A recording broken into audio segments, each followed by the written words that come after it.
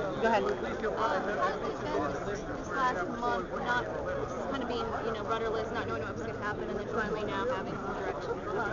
Um, a lot of curiosity, um, still in the mix of all things. I've still been working hard going the class, and um, just having fun, breath of fresh air. What do you think of your new coach? Um, overwhelmed, excited, eager to learn, and just ready to get to work.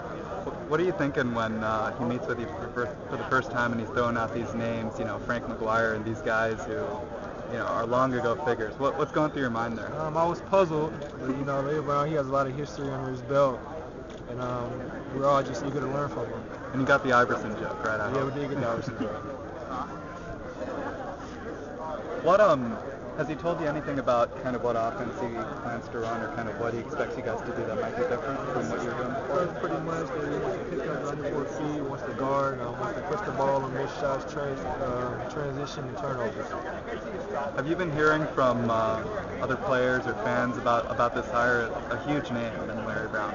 Um, when his name was in the pod, um, heard from a lot of local people, um, but I'm sure after this we'll hear from some more people as well. Was it kind of surreal having Coach Doherty with you guys when you were meeting your new coach, and it's kind of a weird transition? So you had both sides. Um, it was it was awkward um, in an unexpected way, but um, we're happy to see it. Any nerves? You played your position, so. Uh, I'm excited because I get to learn from one of the best point guard coaches, player, uh, just all around basketball junkie in the world right now is living. Uh, it's very exciting. I'm eager to learn. I mean, and I want to coach one day, so what better way than to learn from Coach Larry Brown? Because it doesn't get much better.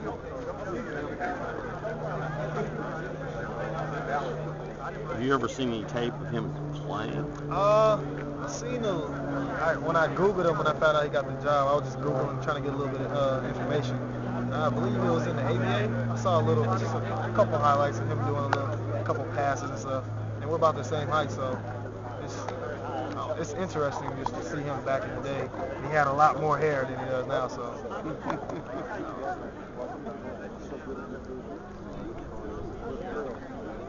What are you most excited about playing for Coach Brown? Uh, I'm just eager to learn because he has so much experience and knowledge just because he's been around basketball his whole life. And like I said, I want to be a coach one day, so just to learn from him the way to play, uh, for him to teach me the game from all his experience, all the different spots, all the different players he's coached.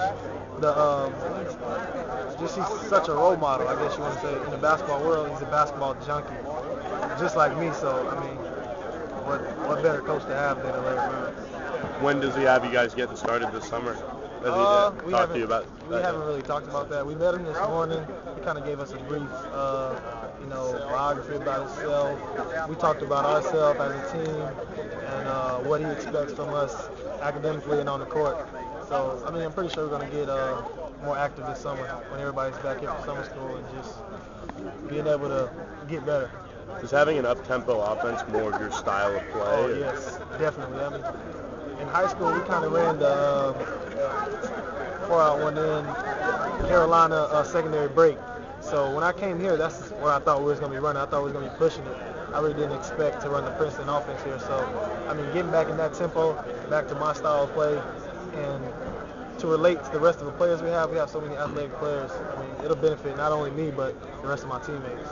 Who do you think is going to step up the most on this year's team just from the end of Um, last season?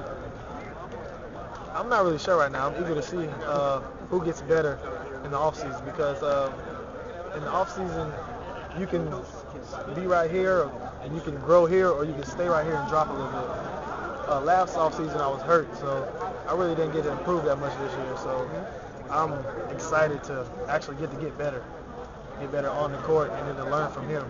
He's so smart and he just has so much knowledge that he can share with me.